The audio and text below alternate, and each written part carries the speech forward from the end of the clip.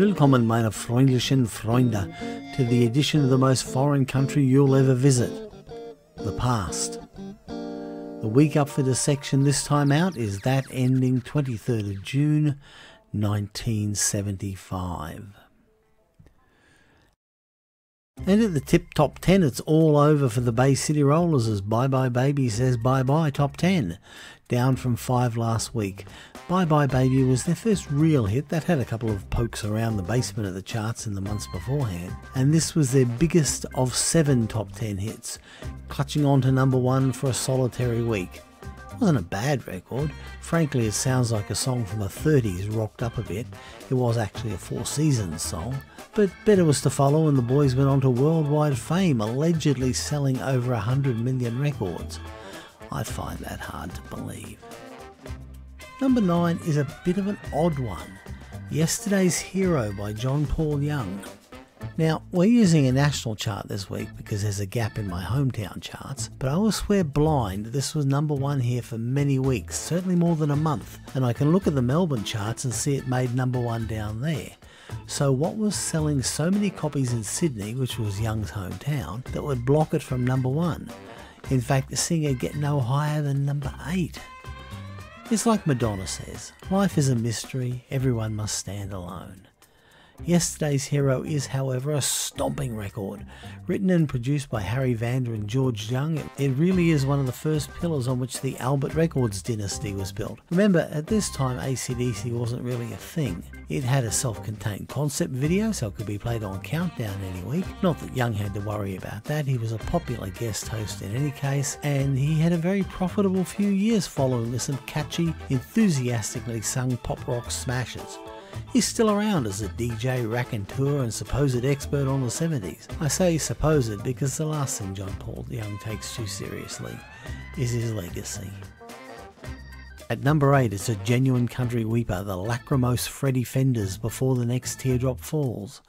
A nice enough song, which I suspect found itself at number 1 a few weeks later, because there just didn't seem to be any other record that people hadn't bought. Definitely one of the least remembered number ones of the decade. That's because it's neither good nor bad enough to be truly memorable.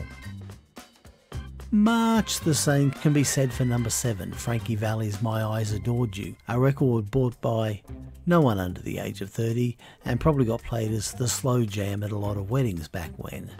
But by no means a bad song, just far from a compelling one. The same could be yet again said for number 6, Minnie Riperton's Loving You. Minnie was the original owner of the whistle register. Her party piece notwithstanding, this is a bang average song that sounds like it was written by a teenager in their bedroom when they should have been doing geography homework.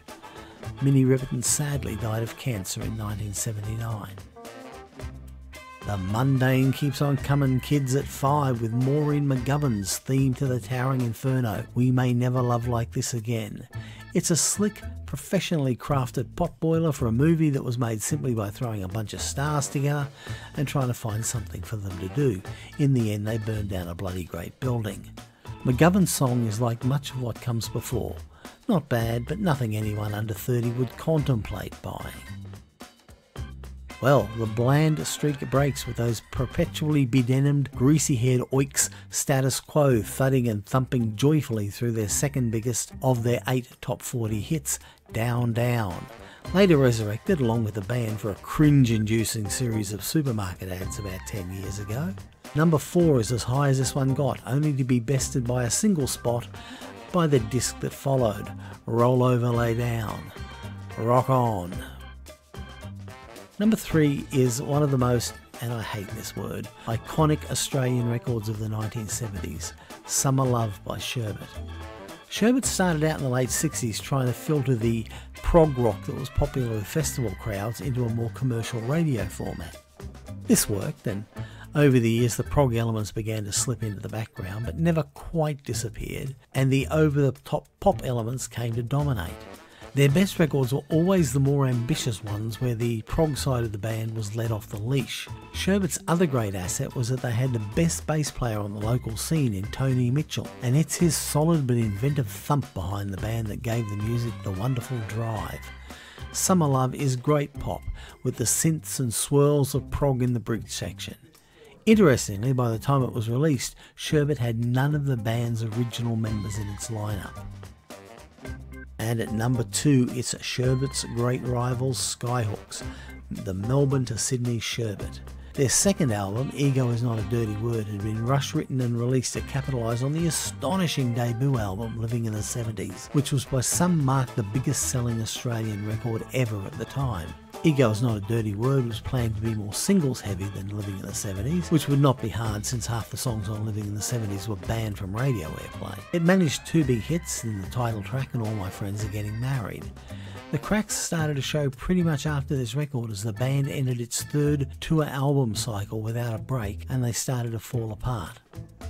Still, things worked out in their own way. Lead singer Shirley Strachan went on to host an after school program for kids, then resumed his former job as a carpenter to host a home improvement show.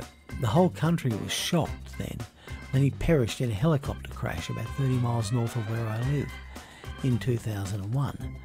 Guitarist Red Symons, who arrived in Australia on the same ship as Kylie Minogue's parents, had gone on to a long career as a beloved curmudgeon and cynic on TV and radio. Songwriter Greg Macainsh went to play on in many bands before becoming a top intellectual property lawyer. Drummer Freddie Strauks played in quite a few successful bands. Bob Starkie might have just the strangest story of them all. He got into writing jingles after Skyhooks and became quite wealthy doing so. He successfully ran a nightclub until 2001 when he just decided to pack it all in and enjoy life. So he did something he always went to do, which was go to Carnival in Rio where curiously he ran into Ronnie Biggs and they became fast friends for the rest of Biggs' life. Nowadays, Starkie, whenever he gets bored, puts together a band of his mates and goes out to the clubs to play Skyhooks songs. And he still fits into his stage gear from almost 50 years ago. It seems to me he finally learned that ego was indeed not a dirty word. To those who say just the facts, ma'am, I say fie, for here we have facts and fun and disoriented context, all in a nifty two minute package we like to call Foul's Fantastic World of Facts.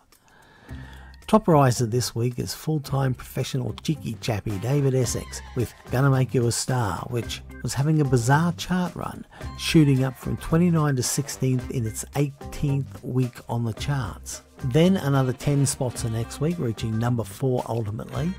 It didn't leave the top 10 until 25th of August and finally left the charts on the 15th of September after 30 weeks, falling from 23 to oblivion. In a far less spectacular pull for another London boy, watch that man as David Bowie and his Young American single dips from 27 to 36. Gene Pitney, who was also probably the first person on this week's chart to have a chart hit back with 1961's Love My Life Away, was also the longest stayer on the charts, his Blue Angel travelling the tally man for 22 weeks now. As no record debuted in the top 40 this week, indeed the top 4 was unchanged, so going outside the top 100 we find at number 62 Sister Golden Hair by America, which was the Wonderwall of its day. Incredibly, the shortest staying record in the top 40 this week was some piece of fluff by Roger Whittaker, which had been in for four weeks at this point. Number one in the US was The Magnificent Love Will Keep Us Together by the Captain and Tennille, Neil Sedaka's finest moment as a songwriter. In the UK, they were madly in love with I'm Not in Love by 10cc. And the number one album in town was Captain Fantastic and the Brown Dirt Cowboy by Elton John. An album seemingly a bit forgotten and neglected these days when his golden run is mentioned, but in reality as wonderful as anything he did from 1970 to 1975. That's that. Well, almost, for there is still a number one to unveil. And if something needs unveiling here, there's only one man to do it, and that man is a monkey, and that monkey is Monty. Time to get funky, Monty the monkey.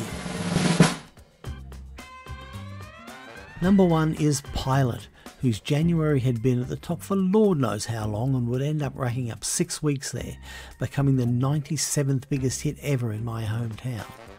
Like their follow up hit Magic, this is guileless pop radio, tuneful, bouncy, and likely to incite sing along whenever played.